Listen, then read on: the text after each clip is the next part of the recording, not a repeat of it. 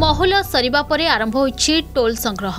ବର୍ଷକୁ ଦୁଇଥର ଏହି ଗଛ ଅର୍ଥ ଯୋଗାଉଥିବାରୁ ଏହାକୁ ପୂଜା କରିଥାନ୍ତି ଆଦିବାସୀ ସମ୍ପ୍ରଦାୟର ଲୋକେ।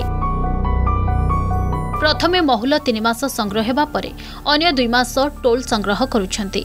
ମହୁଲ ଓ ଟୋଲ୍ ମଞ୍ଜିରୁ ବେଶ୍ ଦୁଇ ପଇସା ରୋଜଗାର କରି ଚାଷୀମାନେ ତେଲ ଲୁଣ ଖର୍ଚ୍ଚ ବାହାର କରନ୍ତି।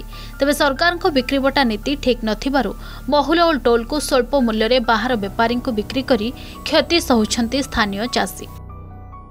ଏଇଟା କ'ଣ କହିବେ? ଭଲ ଗଲା କହିବେ।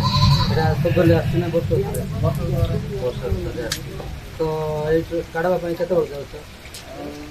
ସକାଳେ ଆମର ଯିବୁ ହଁ ହେଲେ ସେ ଆଣିଲା ପରେ କ'ଣ କରୁଛ ପାଣି ଗୁପ୍ତ କରାସେ ହଁ ସେଠି ଗୁପ୍ତି ଖାଇ କରାସେ ହଁ କଷ୍ଟ ନ ଲାଗେ କେଡ଼େ ବେଳ ଗଲା ତ ଆଣିଲା ପରେ କାଢ଼େ ଗଲା ତ ଟିକେ ଶୁକାଇଛ ତ କେତେଟା ଆସିଲା ମହୁଲ ପରି ଟୋଲ୍ ସଂଗ୍ରହ କରିବା ପାଇଁ ଆଦିବାସୀ ମହିଳାମାନେ ବଡ଼ି ଭୋରରୁ ଜଙ୍ଗଲକୁ ଯାଇଥାନ୍ତି ଟୋଲ୍ରୁ ତେଲ ବାହାରୁଥିବାରୁ ହାଟ ବଜାରରେ ଏହାର ଚାହିଦା ରହିଛି। ହେଲେ ପଞ୍ଚାୟତ ତରଫରୁ ଟୋଲ୍ ମଞ୍ଜି କିମ୍ବା ମହୁଲ କିଣିବାକୁ କୌଣସି ବ୍ୟବସ୍ଥା ନଥିବାରୁ ସେମାନେ କମ୍ ଦାମରେ ବାହାର ବେପାରୀଙ୍କୁ ବିକ୍ରି କରିଦେଉଛନ୍ତି। ଟୋଲ୍ ମଞ୍ଜି କିଲୋ ପ୍ରତି ତିରିଶରୁ ପଇଁତିରିଶ ଟଙ୍କାରେ ବିକ୍ରି କରୁଛନ୍ତି ସ୍ଥାନୀୟ ଲୋକେ। ବେପାରୀମାନେ ଘର ଘର ବୁଲି ଲୋକଙ୍କ ପାଖରୁ ଏହି ମଞ୍ଜି ସଂଗ୍ରହ କରି ବାହାରେ ଅଧିକ ଦାମରେ ବିକ୍ରି କରୁଛନ୍ତି। ଟୋଲା କେତେ ଟଙ୍କା କିଣୁଛ? ତିରିଶ। ଆର ଗଭର୍ଣ୍ଣମେଣ୍ଟ ରେଟ୍ କେତେ ଜାଣିଛ? ହୁଁ? ତିରିଶରେ ମାନେ ଦେଉଛନ୍ତି। ତିରିଶରେ ମାନେ ଦେଉଛନ୍ତି। ତିରିଶ ଆଗରେ ଥିଲା ଚାଳିଶ ହୁଁ। ଏବେ ଡାଉନ୍ କରି ଆପେ ମାରିବ ଗୋଡ଼େ ମାରିବ ପାଞ୍ଚିଆ ବୋଲି ଯାଇକିରି ହେଲା।